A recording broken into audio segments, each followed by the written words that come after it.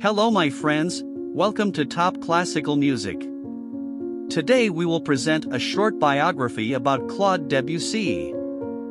Claude Debussy, born on August 22, 1862, in Saint Germain en Laye, France, was one of the most influential composers of the late 19th and early 20th centuries.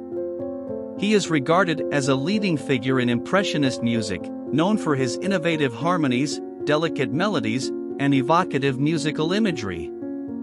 Debussy displayed an early aptitude for music and began taking piano lessons at the age of seven. His talent was recognized, and he entered the Paris Conservatoire at the age of 10. Although he excelled as a pianist, it was in composition that he truly found his calling. During his time at the Conservatoire, Debussy studied with prominent composers and developed his unique musical style. He was deeply influenced by the works of Russian composers such as Mussorgsky and Borodin, as well as the symbolist poets of the time. These influences, coupled with his fascination with Asian music and art, shaped Debussy's unconventional approach to composition. Debussy's breakthrough came with the premiere of his orchestral work Prélude à l'après-midi d'un faune, Prelude to the Afternoon of a Faun, in 1894. This piece, inspired by Stéphane Mallarmé's poem of the same name, showcased Debussy's impressionistic style, characterized by its dreamlike and ethereal qualities. Throughout his career, Debussy composed in various forms, including symphonic works, chamber music, solo piano pieces, and operas. His most famous and enduring work is his only completed opera, Pelléas et Mélisande, based on the play by Maurice Maeterlinck.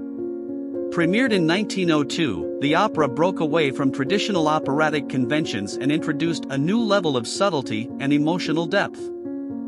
Debussy's music was met with both admiration and controversy during his lifetime. His harmonies, which often disregarded traditional tonal centers, were considered radical at the time. However, his innovations laid the foundation for the development of modern music in the 20th century, inspiring composers such as Maurice Ravel and Igor Stravinsky. In addition to his compositional achievements, Debussy was known for his strong personality and wit. He was a central figure in Parisian cultural circles and associated with artists, writers, and musicians of the time. Debussy's personal life was marked by several relationships and marriages, with his second wife, Emma Bardac, becoming a source of inspiration for many of his later works. Sadly, Debussy's career was cut short by illness. He was diagnosed with colorectal cancer and passed away on March 25, 1918, at the age of 55. Despite his relatively short life, Claude Debussy left an indelible mark on the world of music, forever altering the course of classical composition and leaving a rich legacy of atmospheric, evocative, and deeply expressive works. Well, that's all for today. See you in the next video.